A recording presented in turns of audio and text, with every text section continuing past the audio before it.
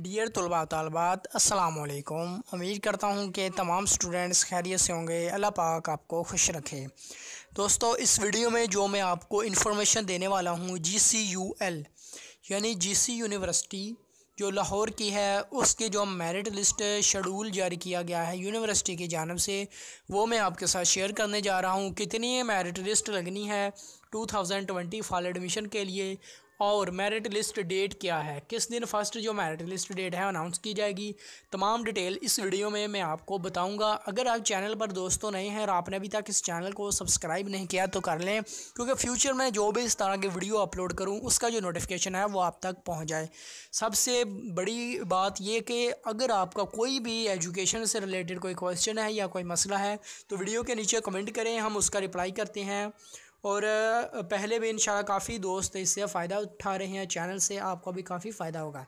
कोई भी merit list का मतलब पूछना चाहते हैं, कोई भी क्वेश्चन हो कमेंट कर सकते हैं तो शुरू करते हैं इस वीडियो को।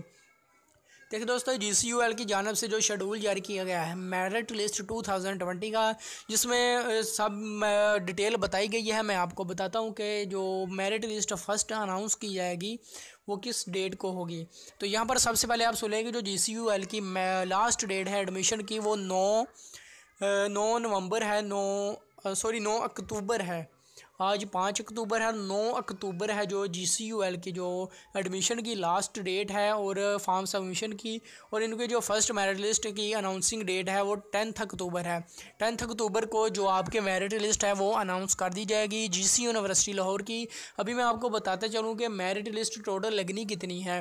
तो यहाँ पर जो हर साल मेरिट लिस्ट लगती हैं जी सी यूनिवर्सिटी लाहौर की, पाँच मेरिट लिस्ट लगती हैं और इस बार भी जो मेरिट लिस्ट है वो पाँच ही एक्सपेक्टेड है कि लगेंगी और मॉर्निंग और इवनिंग की भी पाँच पाँच मेरिट लिस्ट लगती हैं। इनकी जो परसेंटेज है, वो कितनी रहती है तो जी सी यू एल की जो मेरिट है, वो काफ़ी ज़्यादा हाई होता है स्टूडेंट्स के लिए।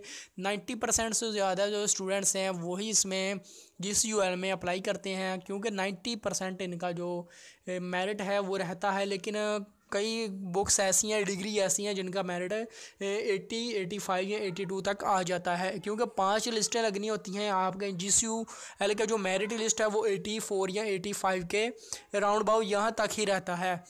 तो जी सी की जो फ़र्स्ट मेरिट लिस्ट अनाउंस की जानी है, वो दस अक्टूबर को इसी तरह जो नेक्स्ट चार लिस्टें रह जानी है, वो फ़ी डिपॉजिट के जिस दिन पहली मेरिट लिस्ट की फ़ी डिपॉजिटिंग की लास्ट डेट होगी नेक्स्ट डे जो सेकंड मेरिट लिस्ट है, वो अनाउंस कर दी जाएगी तमाम यूनिवर्सिटी का यही तरीका कार है कि जैसे फ़र्स्ट जो मेरिट लिस्ट की डेट फ़ी की डिपॉजिटिंग की ख़त्म होती है तो सेकेंड जो मेरिट लिस्ट है, वो अनाउंस की जाती है। जी ने भी ऐसा ही करना है और दस अक्टूबर को इनकी जो पहली मेरिट लिस्ट है, वो अनाउंस कर दी जाएगी। इसके अलावा आपका कोई क्वेश्चन है तो वीडियो के नीचे कमेंट कर सकते हैं. थैंक्स फॉर वॉचिंग अल्लाह हाफिज़.